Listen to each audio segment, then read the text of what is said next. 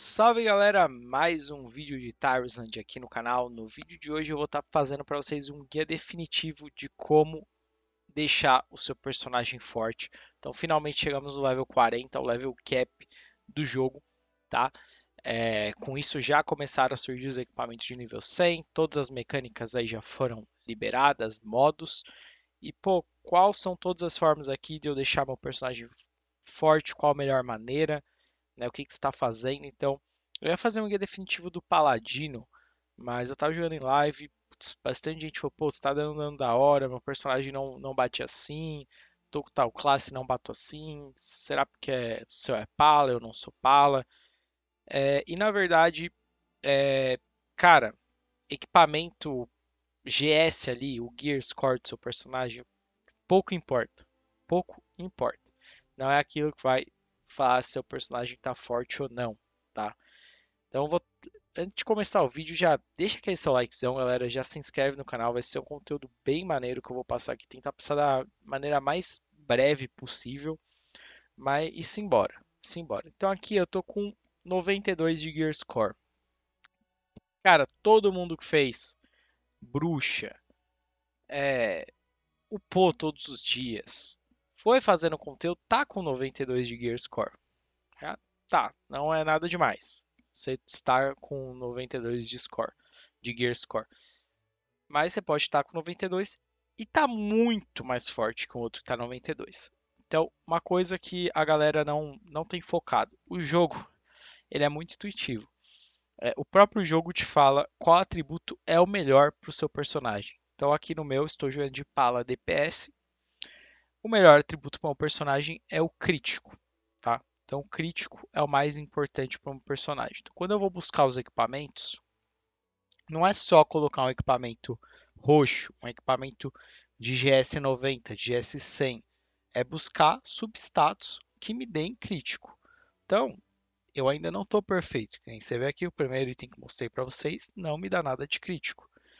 Aí, aqui me dá crítico, aqui me dá crítico, aqui me dá crítico. Aqui também me dá crítico, tá? Mas vários aqui que eu vou passando para você, né? Metade, mas é pouco mais da metade está me dando crítico e o resto não está me dando crítico, tá? Deve ter uns cinco equipamentos aqui que não me dão crítico. Porém, eu estou focando nisso, então tem bastante equipamento já me dando crítico. Cara, a minha taxa de crítico está em 31,6%. É uma taxa que, pô, por enquanto, tem que progredir, tem que melhorar, mas eu tô achando bom. Um terço aqui do, dos meus ataques são críticos, e o crítico é o que basicamente faz eu mais escalar dano. Né? O meu é um pala de crítico. E muitos DPS, se você já jogando de DPS, o atributo principal para você é o crítico. Pô, mas estou jogando de tanque, estou jogando de DPS que o atributo não é crítico. Então busque é, o que é o melhor atributo e faz, faça esse atributo escalar. Pô, mas o crítico ali é, é só essa questão de dar um terço a mais de dano? Não. Só as habilidades do, do Pala aqui, por exemplo. Ó, ele tem um talento aqui que é totalmente focado nessa questão de porcentagem de crítico, tá?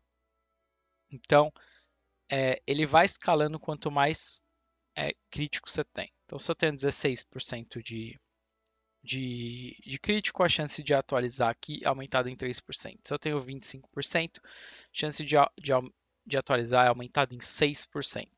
Se logo mais eu bato essa terceira etapa, que se eu tiver 34% de chance, aumenta em 9%.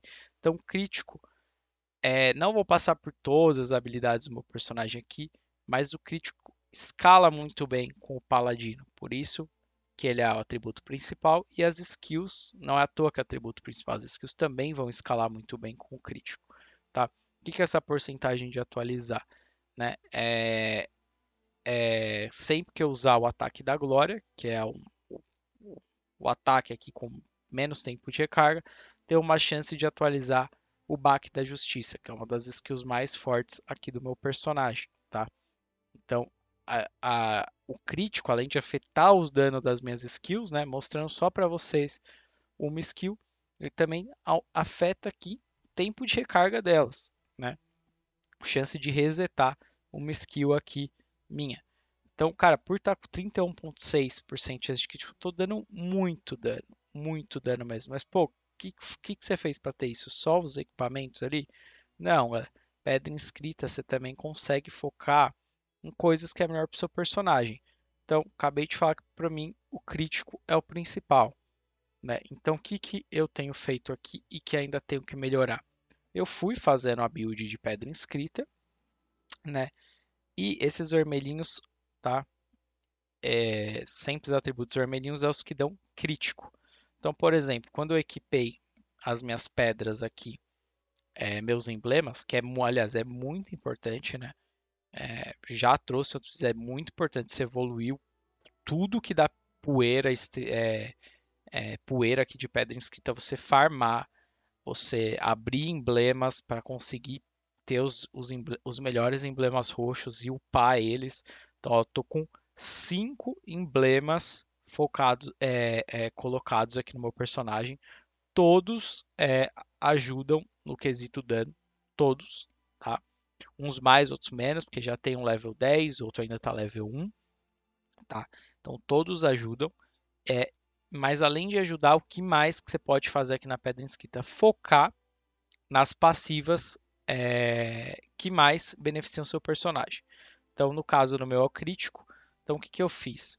Aqui, por exemplo, esse emblema, ele dá vários emblemas aqui, vocês vão ver que eles têm efeito adicional atributos do nó superior direito, mais 50%, o superior esquerdo, 50%, e aí você vai deixando certinho com o que mais te ajuda.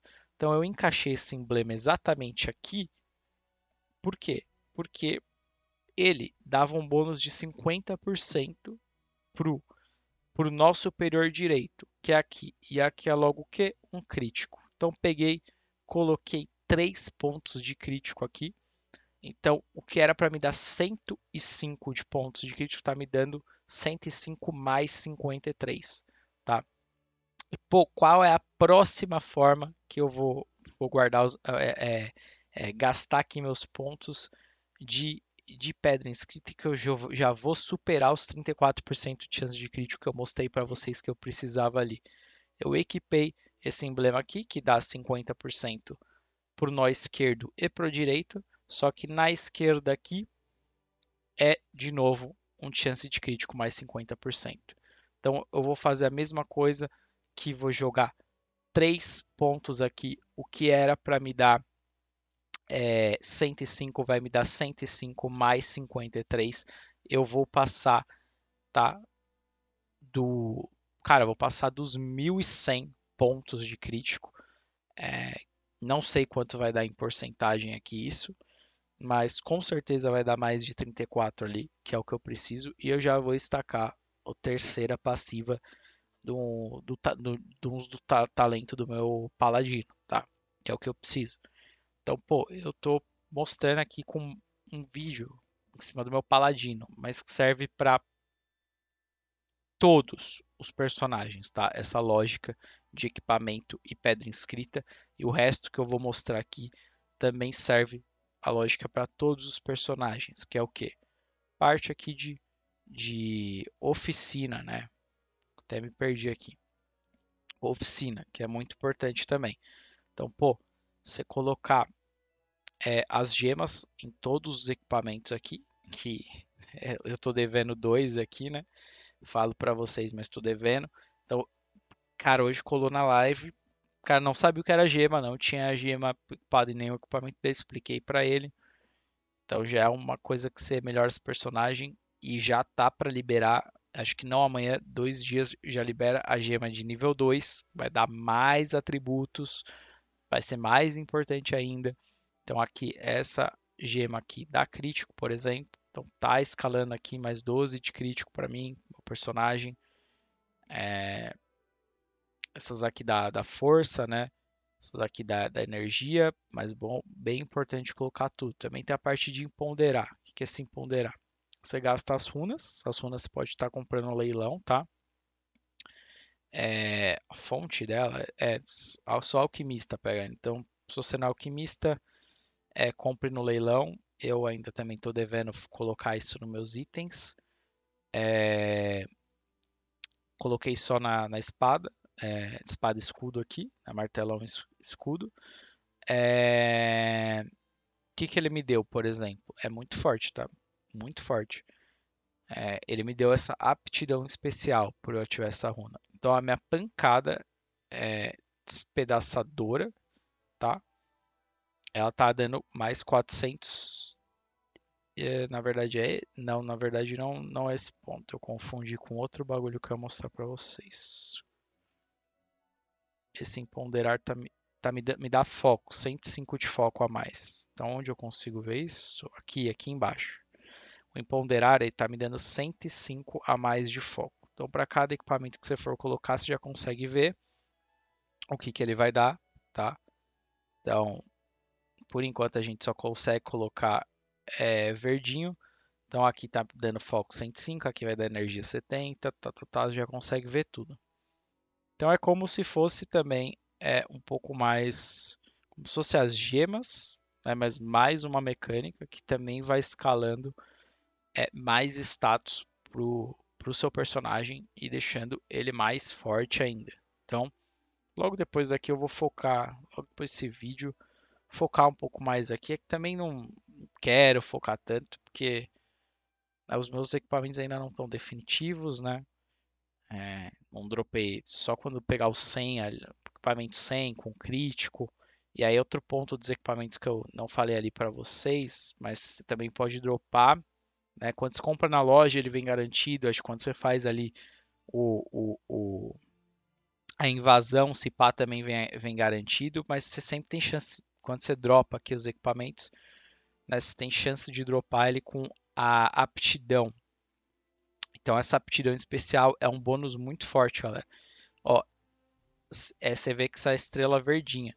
E também vão ter aptidões né, de outras estrelas é, azul, roxa, tá? Se eu não me engano, também tem essa questão que vem mais forte ainda, mas só a verde se liga, né? Na luvinha aqui na manopla, a minha pancada des, é, despedaçadora, que é a minha essa skill aqui, beleza?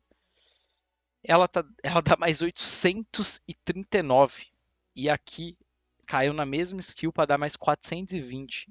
Então, só esses dois equipamentos fazem essa skill aqui dar mais 1200. Tipo, essa skill bate 442% do meu ataque, mais 1162, mais 1200 daqui. E 31,6% de chance de dar crítico. Então, é, tá muito monstro, velho. Tá muito monstro. Então, também essa questão da, da aptidão é um lance muito, muito importante, tá?